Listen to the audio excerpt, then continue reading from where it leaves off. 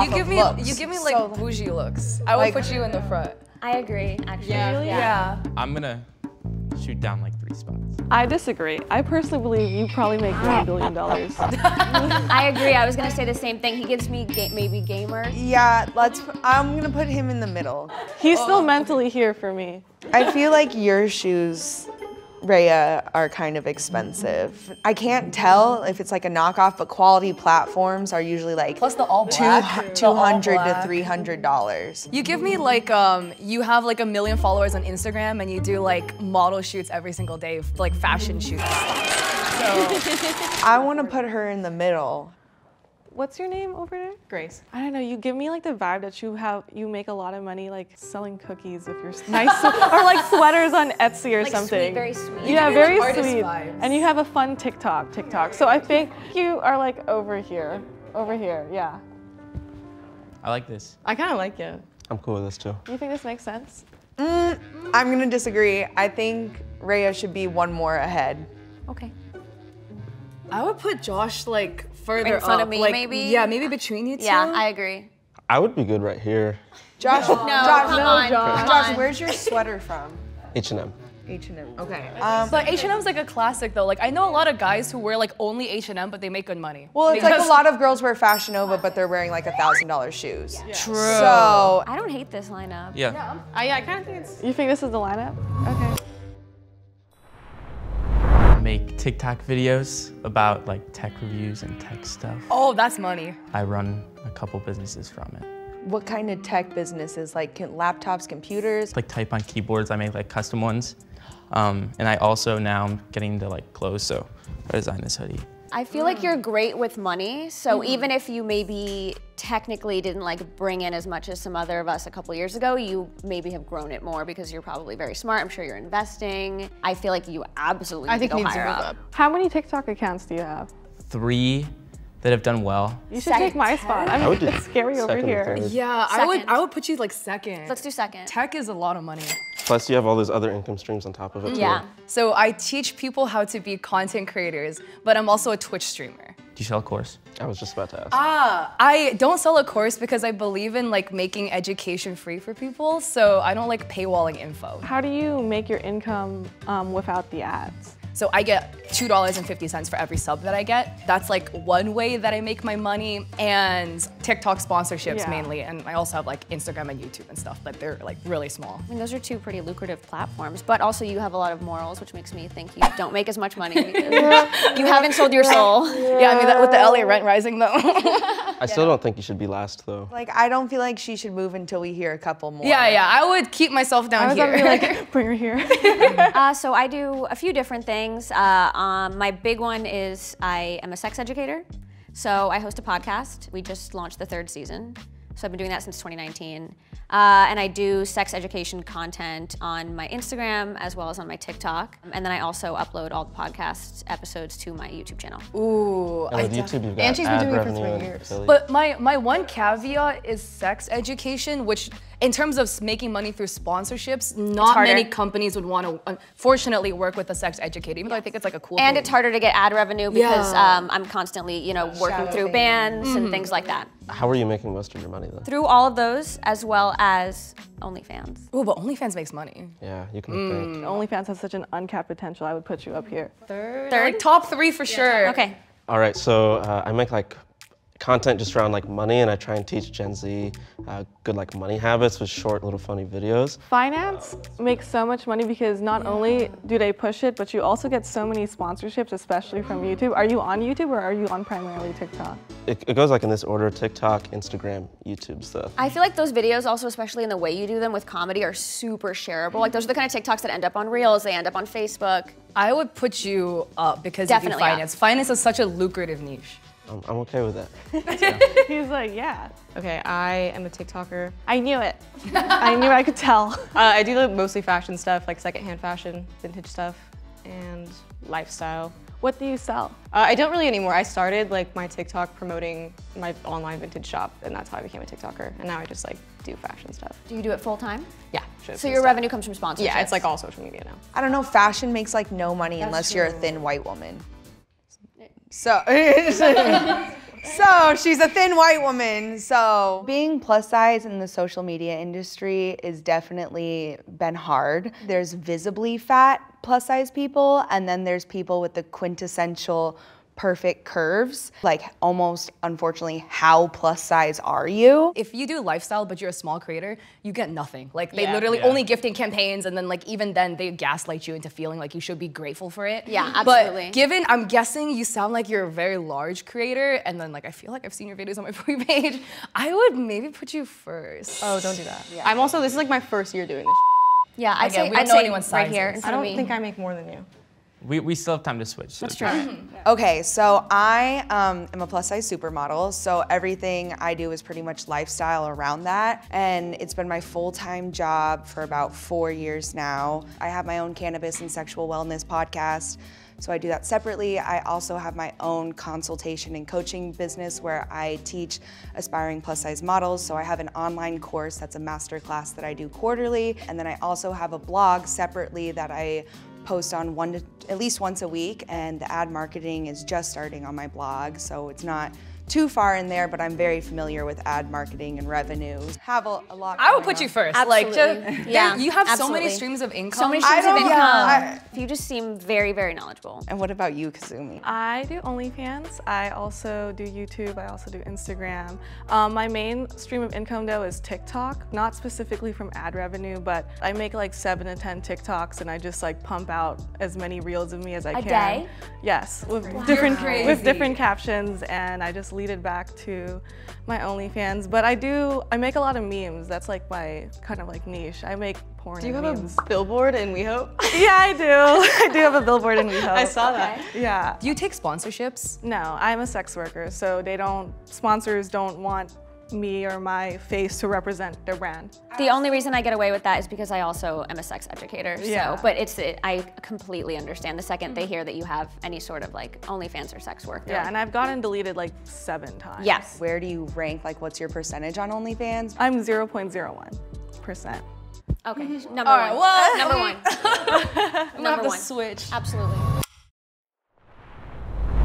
How many guys have you been with? Um, I used to do parties and I would get like 50 dudes a night. Okay, so you're on No Jumper. Yeah. That's the kind of video that goes viral. I mean, there's Yeah. there's no doubt about that video has millions of views. so my photo is a photo of me in Vogue um, so I'm It's a beautiful photo. my butt's in Vogue Does Vogue pay a lot?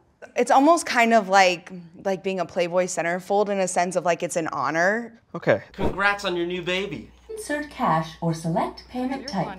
Use PIN pad to complete transaction. I'm sorry, what? The average cost of childbirth and pregnancy care in the U.S. is $6,940 with health insurance or $13,000 without, and it can vary wildly. I changed my mind. What's your return policy like? This is my dad, and this is his at-home work setup. He hates it. So today, I'm gonna try to fix it. I'm gonna first add a custom keyboard I built for him and a mouse, and then we're gonna go ahead and give him the FOPO triple monitor laptop adapter. This is gonna turn his single laptop screen into a triple monitor adapter. I do a lot of get ready with me. Instagram picture.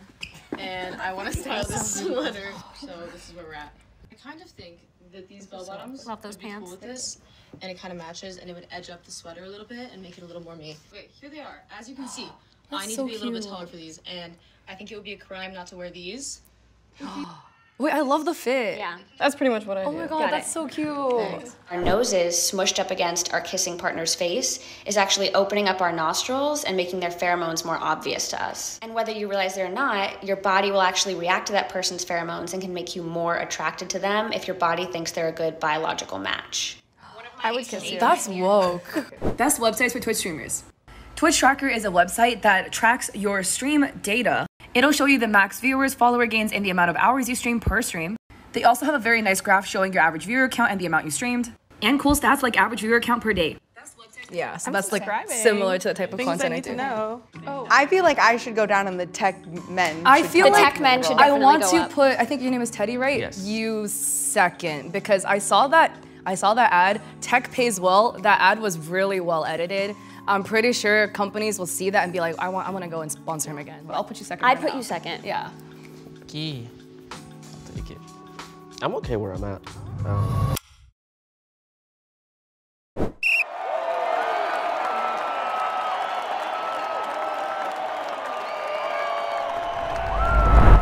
feel like numbers, like the follower count matters? No. Oh, hell no. Absolutely not. Absolutely not. One thing I'd like to say is like quality, d- dep- depending what industry you're in, because I have a friend who has quadruple the following I do and 10 times the engagement, and I make three times as much as she does because of the quality, and I sell usage rights so people can use it as ads. I feel Yeah, I think. Yeah, I think. that's a I think lot. Yeah, I would put put you second. Yeah, move honestly. How many hours do you guys work? I work every day. A lot. Like this week, I worked like four 18 hour days. At minimum, there's no day where I'm working, like almost every single day where I'm working less than five hours. At, at least. I'm not trying to diminish what they were saying. Like it is hard work, and like when she was talking about like, oh, like work doesn't end, but like it's like it does. You can go get a smoothie and like sit in your bed and scroll emails. It's not the same as like being expected to be somewhere and like be a slave all day and be off your phone. Like you're not a person when you're at work, but like you're a person when you're doing this job. It's hard to when you do a job like this because at first I was like, oh, I don't actually, you know, work that many hours. But then you, it's like the second I wake up, I'm checking and I'm deciding what I'm going to Yeah, do that day. And the actually second like I all the actually hours go to work bed, all the day. Yeah. It's like how do you decipher what's yeah, and so what's it's not? hard when you're not doing it. Like I'm maybe not working four hours straight because I'll stop and I'm, I have the privilege of being able to grab lunch with friends or shop in the middle of the day or like do whatever I do. But that doesn't mean I'm not constantly, you know, mm-hmm. working in some capacity. And then like so it's hard weekends to don't know. exist. Right, exactly. Yeah, yeah. There's really no days off. How was your come up? Because I started with gaming content and then I transitioned into education. I did too. Like when, oh my god, love gaming. But um, like especially as like a female gamer who was trying to do content, I got memed on so much. Everyone's like, oh my god, you're such an e-girl. Like yeah, a, like ABG e-girl, e-girl aesthetic. Haha, you suck at the game We anyway. love And now it's in. dude. And now I, it's, like, I know, aesthetic. and now it's cool, right? What babe? year were you doing that? I was doing it in like 2018, 2019. I was That's when doing it in 2011. Oh, To be a female YouTuber in a male-dominated space in 2011 was traumatizing. Brutal. I have a question for you, Josh. Do you feel like you have to work harder or um, fight for what you're worth as a black man? I don't know if I necessarily have to fight harder, but it is a little bit uh, harder to stand out and like get people to take you seriously. It's actually one of the reasons that uh, I've signed with like a management agency that only represents black creators. Oh, okay. Love that. Yeah, so it just feels like a you know like a small family, Absolutely. and you know I know that they're like out there fighting to They're get your like what's best for Yeah, me. absolutely. They've been so helpful because I've run into other black creators that have like my similar following and a similar niche. I mean, they're earning way less, and there's so much more money out there that they're just not getting, mostly because they don't know exactly what they're worth. I don't know. This looks like it makes sense. I feel like it doesn't. I feel like I need to go Yeah, down wanna, one I wanna or two. move down. I feel like with the YouTube AdSense, maybe I would switch this. I think we should- we maybe. should switch.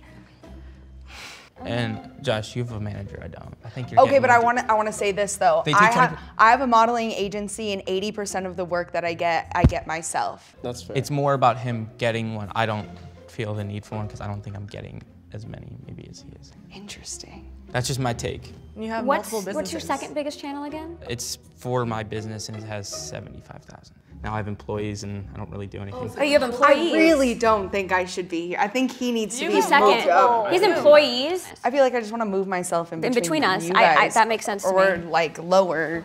How do we feel about this? This, yeah, this looks like our final answer. I think we're good with this. Seventh spot, Teddy, at 115K annually. What? What? That was a shocker. No way.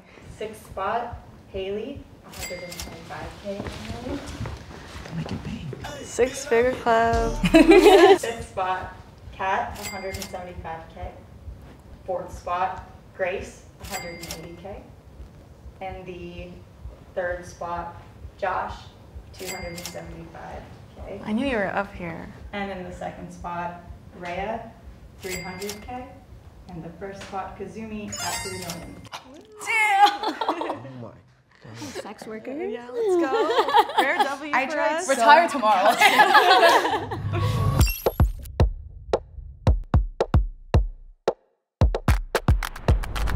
People uh, hate when you make a lot of money in a non-traditional way, and they really hate when you make it off sex work. So I was very, very nervous about the reaction. I am an anomaly and I don't represent what all sex workers make. I make a lot of money, but it is still something that you should deeply consider before getting into because it is something that has holds a lot of social stigma and does make life hard if you don't like doing it. And uh, I just want to say that y'all have motivated me because I feel like I became like comfortable with what I was doing and like I haven't been pushing myself recently, but now I'm like, y'all are doing so well. And I'm like, Well, that's You're crazy. really you well. woke up and made a whole website by yourself. Also, you're that overnight. took me like three great. Months on my great. blog to do. Yeah, when I was 19, I was homeless. So I am really proud of you and whatever you've done and the fact that you can employ people and, and do mm-hmm. so many cool things of your life. I think there's an idea of what an influencer is in people's heads, and I think it's usually like a airheaded person who just takes selfies or uses a selfie stick. They don't understand, I think, maybe the nuance. Like I was kind of weird coming into it because I grew up really poor and like $180,000 is like so much money to me. I like I would be happy making the amount of money I make right now for the rest of my life. And I feel like everyone gets into it and they're like, I have to be a millionaire and I have to like monetize every category of my life. And that's probably where it becomes like an insane job.